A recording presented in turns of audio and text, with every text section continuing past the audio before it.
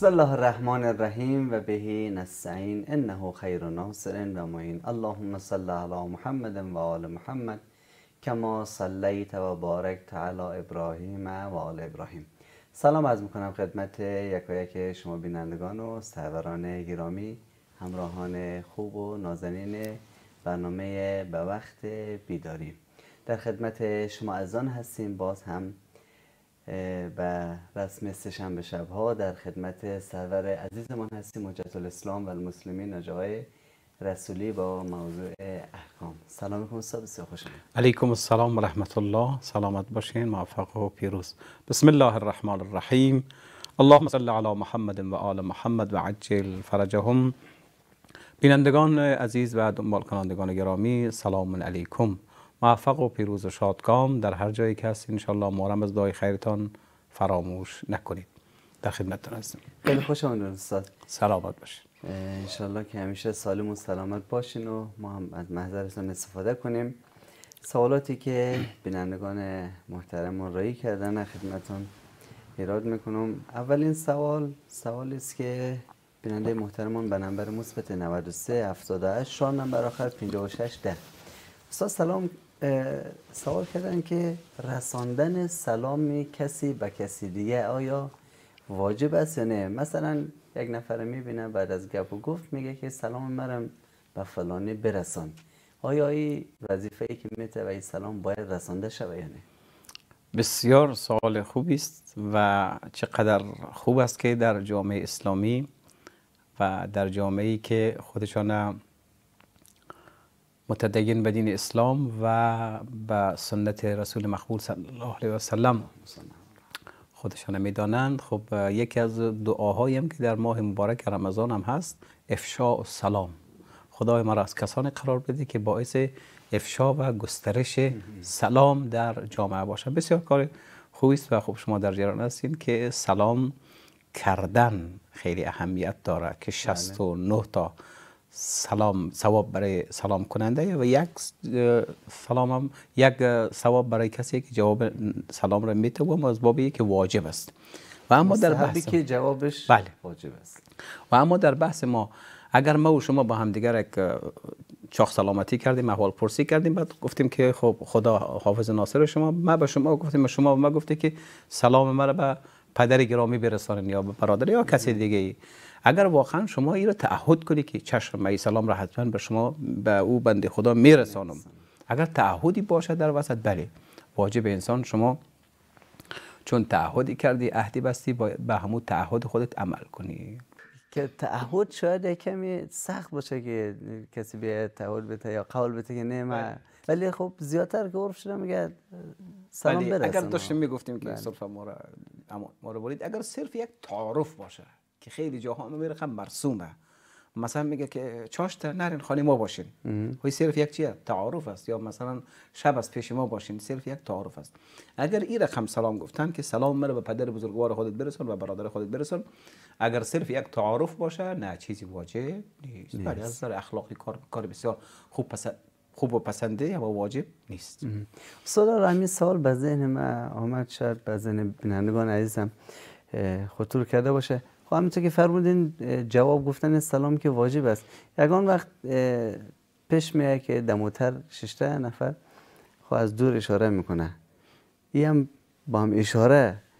یا اگر کسی هم سلام بگه یا شاید سلامه در جواب کلامی چیزی نمیگه همینطور یک اشاره می‌کنه. اون چیزی که واجب است جناب حسینی بزرگوار گفتنی کسی به شما بگه سلام علیکم. شما باید جوابش بگی علیکم السلام یا بگه السلام. علیک. شما بگی علیک السلام. پس بنابراین این چیز زیادت هم باشه و رحمت الله. پاره کسی سلام حساب نمی‌کنه. اگرچه سلام عرفی هست یعنی تحیت عرفی هست یعنی یک نوع احترام از نظر عرفی هست اما از نظر شرعی دیگه اون کسی سلام حساب نمی‌کنه. مثلا ما در سلام نماز نمی‌تونیم بگیم اشاره کنیم. به جای بگیم السلام علیک ایها النبی و رحمت الله و برکاته. یا السلام علینا و علی عباد الله الصالحین. نمی‌تونیم اینا رو با اشاره انجامش بدیم. کسی بخواد اینا رو با اشاره انجام بده دیگه او سلام نیست. مگر سلام گنگ و کسای دیگه که از داستان چیز دیگه خارج است. بله. بسیار عالی. یک عذرخواهی داشته باشیم از بینندگان محترم به علت مشکل تکنیکی که پیش آمد و قطع وصل شد برنامه. انشالله که هم بیننده برنامه خودتان باشین. مثبت 98 937 19 27 بیننده محترم ما سوال کردن که بنده الان مسافر هستم و بیشتر از ده روز شده که ما در حالت سفر هستیم اما هنوزم وضعیتم معلوم نشده و که چند روز دیگه ما اینجا می باشم یعنی تکلیف نمازها چه رقم میشه؟ شکسته میشه میشه. اگر این شخص از اول می‌دونسته که ده روز در یک جایی در اقامه می‌تونه اقامه کنه که خود از اول باید قصد چی ده روز می‌کرد. حتی اگر یقینم نداشت. مثلا احتمال قلایی می‌داد 75 درصد 80 درصد احتمال می‌داد که من ده روز در یک جای چیه؟ میمانم. خب این شخص باید قصد اقامه می‌کرد و نمازهای خودش چی؟ کامل می‌کرد. اما یک وقتی است انسان رقمی امروز میرم فردا میرم پس فردا میرم یعنی هیچ معلوم نیست که کارش امروز رو میفته یا فردا رو میفته. این شخص که امیر رقم تا در روز امیر رقم شده بعد از در روز امیر رقم حضرت الله علیه سیستانی و بیشتر فقهای عظیم شان میفرمایند که تا یک ماه را این وضعیت شنی است. تا بعد از یک ماه اگر که کارش معلوم نشد که باز امروز میره فردا میره دیگه نماز خود بعد از یک ماه به صورت کامل بخوانه. که اگر ماه مبارک رمضان هم باشه میفرمایند که روزی خودش باید چیکار کنه؟ بگیره بله. بسیار عالی. مثبت 93 78 شعار نمبر آخر 92 98 سوال کردن که آیا ازدواج با اهل سنت جایز است یا نه؟ خب قطعا اهل سنت و جماعت مسلمانند و شهادتین می‌خوانند ما و اونا خدای واحد داریم پیغمبر واحد داریم قرآن واحد داریم کعبه واحد داریم. و پنج وقت نماز که هفت رکعت نماز واجب باشه ما بین ما و اونا مشترک است. زکات بین ما و اونا مشترک است. روزه بین ما و الا ماشاءالله ما چیزهای مشترک داریم. تا زمانی که کسی ناسبی نباشه ممکن سنی باشه یک از چهار مذهب اهل سنت. ممکن است یک از غیر از چهار مذهب اهل سنت. چون شما در جریان هستید که انحصار کردن مذاهب اهل سنت در چهار تا و اگر نه مذاهب اهل سنت چهار تا نبود. بسیار زیادتر از اینا بود. دولت بخشنامه کرد. دولت بله. زور کرد گفت که الا ولا بود. فقط یعنی چهار تا و دیگرا به اصطلاح ملغا باشه. بنابراین اگر کسی که ناسبی نباشه. ناسبی یعنی کسی که مبغض اهل بیت دشمن اهل بیت و اهل بیت مورد افترا و تهمت و سب و لعن قرار میده که اینا میشه ناسبی که در حکم کفار هم هستن. حضرت الله علیه سیستانی و بقیه فقهای عظیم شان اینا رو در حکم چی؟ کفار میدارن. اگر از اینا نبود هر یک از مذاهب چهارگانی اهل سنت باشه خب ولی ازدواج کردن با اینا اشکالی نداره. ولی چون مذهب ها با همدیگر اختلاف داره. بالاخره یکی یک سری چیزها را قبول داره. کسی یک سری چیزهای قبول درسته که اصل دین مشترک است. بله. بالاخره مذاهب یک مقداری با همدیگر اختلاف داره زیاد است. بله. ممکنه این اختلاف مذاهب بعدها اینا رو دچار چی کنه؟ مشکل, مشکل کنه. یعنی از این نظر ممکنه برای اینا مشکل خلق شود. وگرنه اصل از این ازدواج اشکالی نبرد بسیار عالی. بیننده محترمان از کشور جرمنی سوال کردن به نمبر مثبت 49 176 4 نمبر آخر 62 73 سوال کردن که آیا میشه که همین پیسه که برای زکات می‌خواد داده شود امیر کم کم جمع کنن؟ باز یک جای ده یک فقیر داده شود. البته ما از اینا تشکر می‌کنیم ولی سوالشون بسیار گنگ است.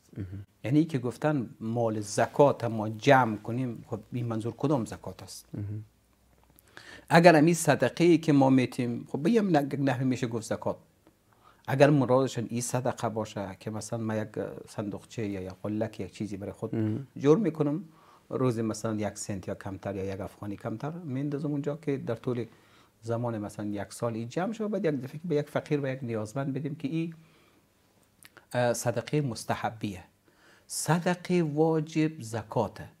زکات هم کدوم زکات؟ هم زکات فطره و هم او زکاتی که معمولی زکاتی که توضیح میدیم.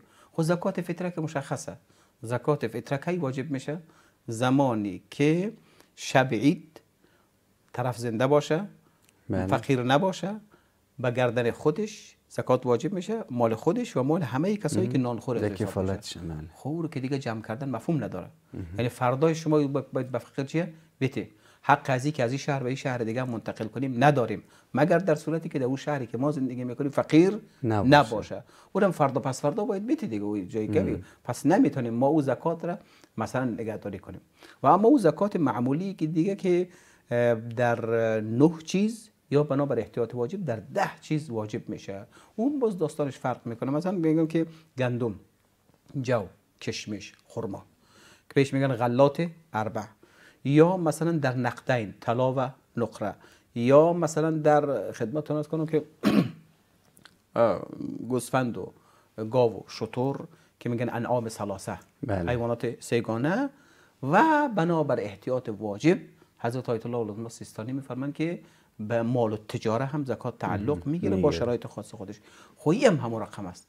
یعنی بازم اگر مثلا به مال ما که گوسفنددار باشم یا مالدار باشم یا شتردار باشم یا گاودار باشم یا کشاورز باشم به مال ما وقتی که زکات تعلق گرفت حالا او یا یک دهم یا یک بیستم که او باز داستانش مفصله. مثلا مثلا در کشت که او کشت آبی باشه یا کشت للمی باشه یا دهیم باشه او فرق می‌کنه مقدار زکات.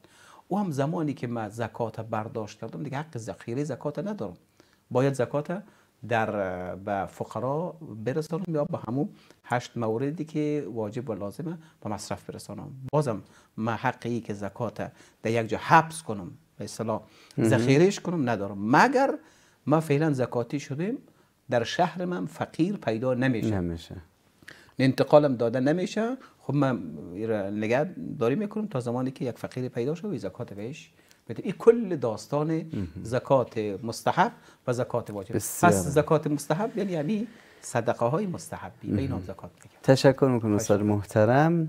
به اتفاق استاد گرامی و شما بینندگان عزیز سر می‌زنیم به اتاق فرمان و بعد از دیدن میان برنامه در خدمت شما خوبان خواهیم.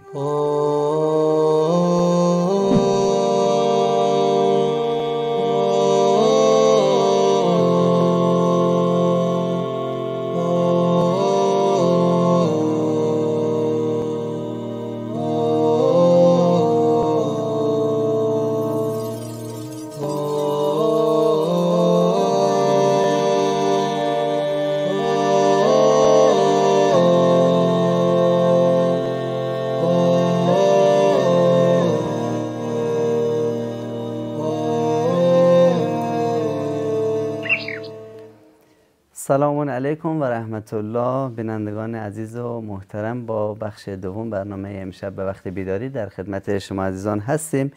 مثبت 93 76 4 نمبر آخر 14 61 سوال کردن که شخصی قبل از اذان خب توفیق داشته و مشغول خواندن نماز شفع بوده بعد از نماز شفع اذان صبح گفته شده و نماز وتر بعد از اذان می‌خونه. آیا این نماز خوانده میشه بعد از اذان یا نه نماز؟ شما از دو اصطلاح نام بردین یکی نماز شفع و دیگری نماز وتر. بله. ممکنه کسی از دوستان تازه همین الان بیننده برنامه ما باشه و ممکنه برش سوال خلق شود ممکن است کسایی؟ باشه که این نماز شفع چیست و نماز وتر چیست که قبل از نماز صبح در حال خواندن بوده یک دفعه اذان صبح داده شده. خب شما در جریان هستید و بینندگان عزیزی که اهل نماز شب هستند و اونایی هم که نیستن انشالله توفیقی باشه از به بعد نماز شب بخوانند این نماز شفع و نماز وتر دو تا از همون نمازهای نماز شب نماز شب نماز شب. همونطور که در جریان هستیم هشت رکت است چهار رکت چهار دانه دو رکتی به نیت نماز شب, شب. می‌خوانیم دو رکتش کمی داستانی که بله. فعلا پیاده شد به نام نماز شفع که میشه در رکعت که ده رکت و یک رکت دیگه هم اون نماز چیه؟ وتر. است. حالا ای در وسط خواندن نماز وتر نماز شفع البته نماز شفع قنوت نداره. بله. ولی اگر کسی رجاعا به این امیدی که ثواب گیرش بیاید قنوت بخونه بازم مشکلی نداره. نداره. مشغول خواندن نماز شفع بود یعنی چهار رکت خوانده بود هشت رکت خوانده بود ده رکت نهم و دهمش ممکن بود. دو, رکت است دیگه. یک دفعه گفت الله اکبر. خب اون نماز یک رکتی که نماز وتر بود اون نماز مان همون نمازی که قنوت داره و اون بله. نماز چهل مؤمنم چی میشه دعا دعا میشه. افتاد مرتبه استغفر الله گفته میشه العفو گفته میشه اون مانده بود بله می‌تونه اون نماز بخونه یعنی از آن که گفت این نماز که تمام کرد یعنی نماز شفع رو تمام کرد می‌تونه نماز وتر. خودش یا وتر خودش هم بخونه اما این باید توجه داشته باشه که این نماز وتر یا وتر خارج از تایم خودش چی شده خوانده شده. شده. و هیچ مشکل هم نداره و حتی ما توصیه شدیم که مثلا شما اگر که نماز شب نتونستین بخوانین در وقتش در خارج وقتش قضا کنین. عجب. نماز مثلا سنت و مستحبی یا نماز نافله صبح اگر در وقتش نتونستین خارج وقت قضا کنین. نماز نافله ظهر که هشت رکعته اگر در خارج نتونستین در وقت بخوانین خارج وقت قضا کنین. پس می‌تونه او رو بخوانم تا تفاوتش ایست که دیگه خارج از وقت خوانده شده. بله. و اگر اشتباه نکنم مثلا طبق فتوای حضرت آیت الله المسیستانی حفظه الله هم خب دقیقا بعد از گفتن اذان شاید یک چند دقیقه گفتن صبر کنین که وقت نماز داخل شود. خب اونجا میشه دیگه حالا اگر بله. البته او در شب معمولا در شبهایی است که به اصطلاح خب ماه رفته به طرف مشرق به طرف مشرق رفته. بیم از این هست که مثلا این سفیدی که زده بالا آیا این سفیدی صبح صادق است یا همین سفیدی نور ماه است؟ بله. بسیار عالی. مثبت 93 79 4 نمبر آخر 58 40 بیننده محترم ما در مورد مضمون کیمیا از مکتب عالی سوال داشتن که به خصوصیشان جواب داده شده. انشالله که به جوابشان هم رسیده باشن. و اما مثبت 93 76 81 87 بیننده عزیز ما که در مورد حکم خالکوبی سوال کردن که اگر کسی با وجود خالکوبی در بدنش باشه نمازش چطور میشه صحیح است یا نه؟ اصل خال کوبی که ما بارها ممکنه مسئله را توضیح دادیم و بینندگان عزیز از ما سوال پرسان کردن و چون روز به روز این عمل در حال ازدیاده قبلا اگر که شما متوجه بودین مثلا معمولا پهلوانای کار می‌کرد دمی کسایی که کشتیگیر است مثلا بسیار بیدار بازوهای ستبر داشت. بله. تهمتن بودن. تعبیر تهمتن بودن.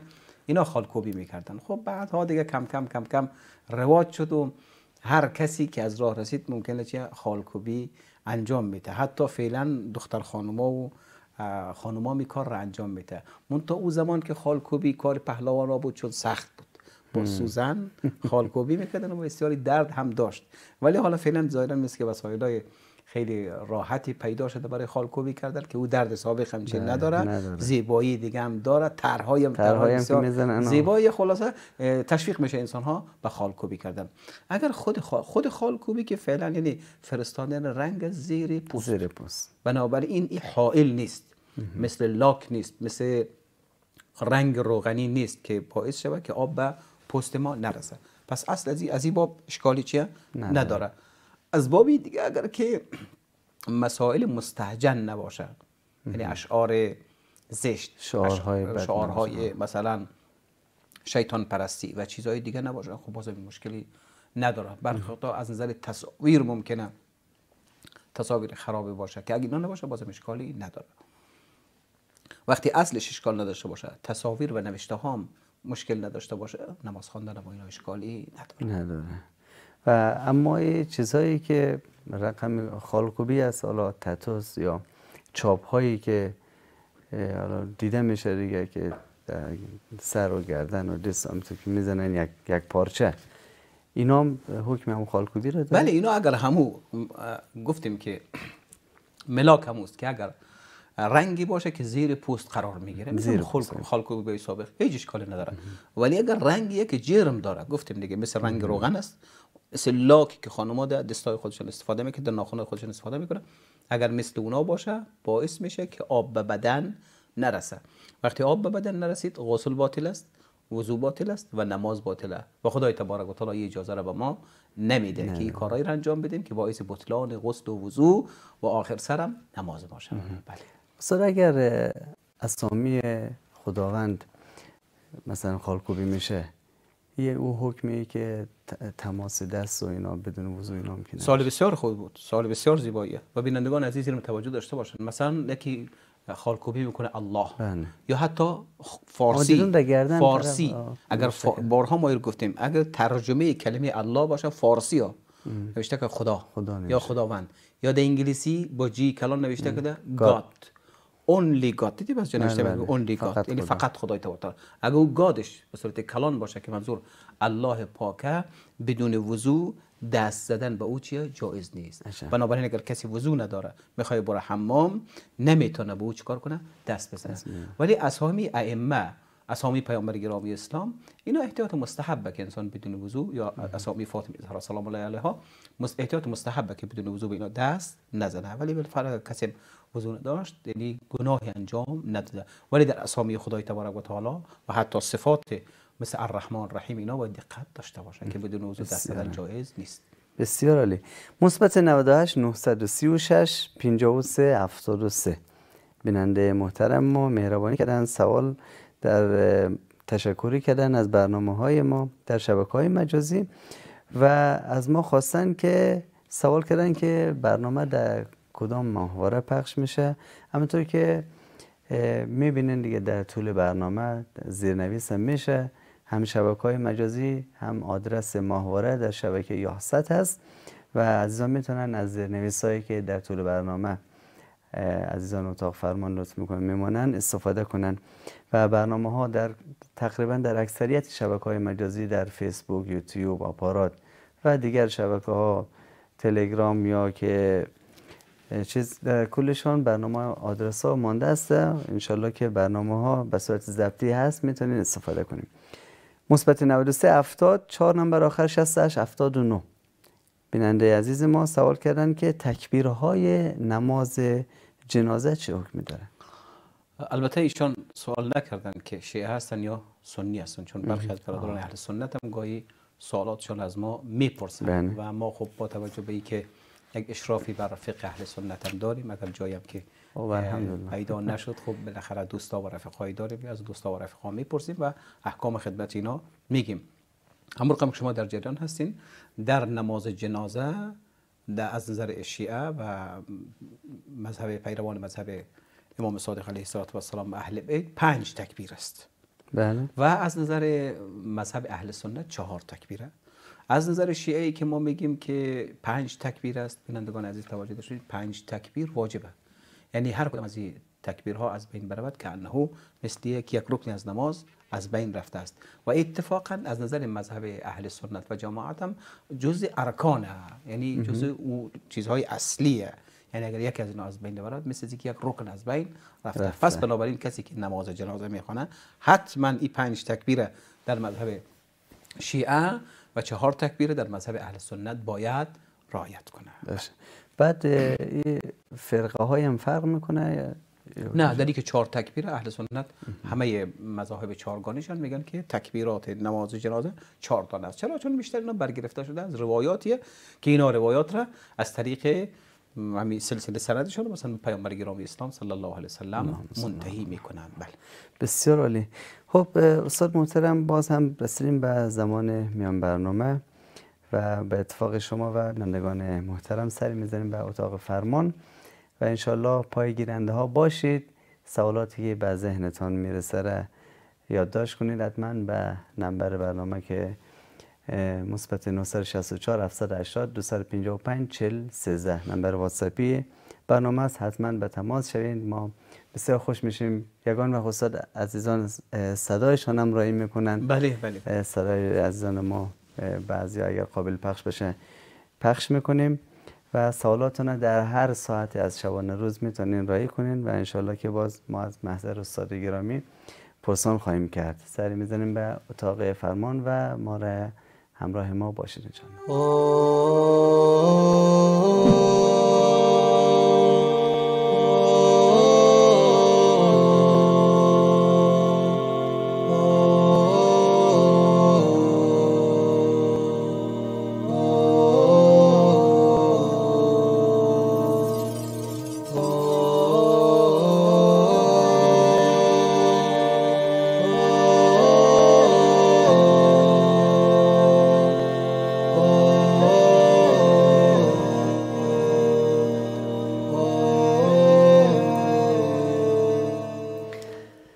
سلام مجدد عرض می‌کنم خدمت شما بینندگان و سروران گرامی با بخش پایانی برنامه امشب برنامه به وقت بیداری به صورت پخش زنده مهمان لحظات شما خوبان هستیم. و تشکری می‌کنیم از عزیزانی که مهربانی می‌کنن و سوالایشان رای می‌کنن. مثبت 98 936 4503 ایشان استاد ضمن اظهار تشکری از برنامه سوال کردن که ما موسیقی گوش میتیم و لطفا برای ما بیان کنید که چه نوع موسیقی های حرام است یا چه نوع موسیقی های مجاز است. خب از این که سوالشان پرسان کردن خب فهمیده میشه که دقدقه دارن. ما بارها در این برنامه چون سوالات از موسیقی بسیار سوال شده و ما یک قاعده کلی را که برگرفته از بیانات حضرت آیت الله با سیستانی خدمت شما و خدمت بینندگان عزیز عرض کردیم. حضرت آقا میفرماد که اون موسیقی حرامه البته قبلش یک توضیح بتیم که ما یکی غنا داریم و یکی موسیقی. غنا خواندن انسان یعنی صوت انسان. او صوتی که در گلو پرتن و به تعبیری که چه چه زدن بله. صوت بالا و چی؟ پایین کردن. این خودش غنایه. خود غنا حرامه. در چه صورتی این صوت تبدیل در غنا میشه؟ یه چیز مشخص است یا کنم کاشناس پدیده؟ خدمتتون ارز کنم که سر که صدا رو در گلو پرتن. ها و به نحوی بخوانن که در مجالس لحو و در مجالس معصیت خوانده میشه. حتی فرمودن اگر کسی ادعیه و دعا را بخونه به همون آهنگ و به همون مدلی که در مجالس لحو اشعار لحوی و اشعار گناهالود می‌خونه حتی قرآن اگر کسی صدای خود در گلو پرته امون رقم چه چه بزنه. امون رقم که در مجالس لحو و لعب او چیزای عاشقانه را می‌خوانن چیزای بله. غیر از خدا و پیغمبری رو می‌خوانن. اگر شما قرآن امون رقم بخوانی حرامه. پس این میشه غنا. و خب تفاوتش صدای مرد و زنم در ایست که مرد فقط در صورتی حرام است صدایش که همون رقم مثلا لحوی باشه ولی زن به محضی که صدای خود بکشه و صدای خودش نازک کنه شنیدنش برای مرد جایز نیست, نیست. و خب این شد غنا که مربوط به صدایه. و اما موسیقی صدای ابزاره. صدای مثلا نی است صدای بله. مثلا دنبوره است صدای ستاره صدای چی میگن؟ پیانویه. صدای چیزای ویالونه. اینا رو میگن موسیقی. خب موسیقی واس کدام موسیقی حرامه؟ میگه اونمو موسیقی حرامه که در مجالس لحو مجالس اونمو رو استفاده می‌کنن. مثلا در مجالس لحو بیشتر از همون موسیقی های استفاده می‌کنن که مخصوص همون جای دیگه. مثلا یک موسیقی فاخری که مثلا در جاهای دیگه نواخته میشه اون موسیقی رو نمی نوازند اگر کسی بنه گمش کو گمش کو چیزهای دیگه بان که مثلا ما رو در وجد بیاره. البته بحث وجد آوردن و طرب اینام نیست. حضرت ما سیستانی میفرمایند فقط مجلس مجلس لهو باشه. یعنی مجلس مجلس خوشگذرانی باشه که در او هیچ انگیزه خدایی و پیغمبری و دنیوی نباشه. صرف خوشگذرانی و خوش بودن باشه. بله. می یک سوال یک از بینندگان. شاید یکی دو سال پیش بود در همین موضوع پرسان کرده بودن و جوابی که دادین در مورد ها سوال در مورد موسیقی هایی بود که در فضاهای ورزشی بله بله. نواخته میشه. همه رو مگه محبت کنین یک دفعه؟ بله حالا با توجه که گفتیم ما پس کدام موسیقی ها حرامه؟ اون موسیقی هایی که مجلوس مخصوص مجلوس لهو و خوشگذرانیه بنابراین خود حضرت آیت الله العظما سیستانی میفرمند که برخی از موسیقی ها مثل مارش های نظامی و مثل مارش های عزا و همچین چیزی که شما میگید بله. یعنی در کلب و در جاهای سپورت وقتی این ورزش ها انجام میشه خب اینا مشکل خاصی نداره بله. یگان وقت اصلا دیدن میشه که خب همین به سبک روزخانی فکایی جور می‌کنن همون چیزای خنده دار ولی در سبک چیز در سبک مثلا روزه داره می‌خونن مثل که مدا قطعا این کارم از این بابی که استهزایه. و مسخره کردن روزه و مسخره کردن مصیبت. حالا ممکنه مثلا از احمد محمود بگه داخل دیگه شنیدیم دیگه مثلا از بله. احمد محمود چیزای جوک و چیزای فکایر میگه فکایر داخل چیز میندازه در, در قالب در قالب نوحه و روزه این کارم حرام است. و یک نکته دیگه هم عرض کنم که ممکنه تشخیص از به عهده خود مکلفه. یعنی مکلف است که تشخیص میده ای غناها صدای انسان یا صدای مثلا دنبوره یا صدای ساز یا آواز آیا مجلس مخصوص مجلس لحو هست یا نیست؟ و بار اول که می‌خوای گوش بده که تشخیص بدم مشکلی نداره. یعنی بعد از اینکه تشخیص داد اول گوش میده تشخیص داد که مخصوص مجالس لحوه او گوش دادن اولش مشکلی نداره. چرا؟ چون برای چی بوده؟ برای ازی بوده که تشخیص می‌خواسته بده که مخصوص مجلس لحو است یا جای دیگه. بعد از او که فهمید این موسیقی یا این غنا یا این صدا مخصوص مجالس لحو و لعبه دیگه نباید رو گوش بده بسیار. اگه اشاره الان فرمودین که صدای زن شنیدنش برای مرد خب که بالکل حرام است. وقتی به یه صورت در صورتی در صورتی که صدا رو نازک کنه نازک کنه بله نازک باشه وقتی صدای حالت عادی زن شنیدنش و گوش دادنش مشکلی نداره. ما سخنرانی های زن رو گوش میدیم موعظه های زن رو گوش میدیم. ممکنه بعضی از اگر وقت شعرخوانی میشه شعرخوانی اگر حالت عادی باشه مشکلی نداره. ولی اگر قرار باشه نازک کنه صدا رو که حالت تهیج به خودش بگیره حرام است جایز نیست. بسیار عالی. مثبت 98 930 85 79 بیننده عزیز ما سوال کردن که آیا در هیچ صورت نمیشه از کسی غیبت کرد. حالا چه اصراری است که طرف می‌خواد غیبت یک کسی را انجام بده و از ما مجوز بله. بگیره. هاست جناب حسینی بزرگوار و بیننده عزیز مواردی هست که میگن موارد استثناء. یعنی غیبت اما در این حال جایزه که انسان غیبتش انجام بده. مثلا بنده به عنوان یک ریش سفید که فعلا ریش سیاسیم شما مثلا به عنوان یک کلان یا ارباب قریه خب یک جای حضور دارید. دو نفر می‌خوای با هم دیگر کار کنه؟ شراکت کنه. نفر اول نفر دوم نمی‌شناسه. نفر دوم از منطقه شما از جای شما و شما ارباب منطقه از هستی بله. میای پیش شما مگه همین نفر آمده در دکان ما می‌خوای با ما چی کنه؟ شراکت کنه. شما می آقا رو می‌شناسین می آقا دوز نیست می آقا نمیفهم آدم خلافکار آدم کلام کلاهبردار چیزی نیست. شما اگر بدانی که این نفر خراب است و کلاهبردار است و دوز است و مال مردم خور است اگر نگویی جفا کردی ظلم کردی. بنابراین شما می‌گویی بله میگی آدم مال مردم خور است.